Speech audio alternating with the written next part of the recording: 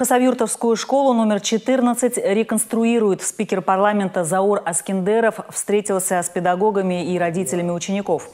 Они рассказали, что в учебном заведении обучаются вдвое больше детей, чем положено. Школа работает в три смены.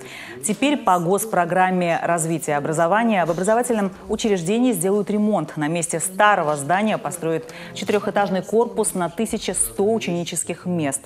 Заур Аскиндеров заявил, что лично проследит за ходом строительства.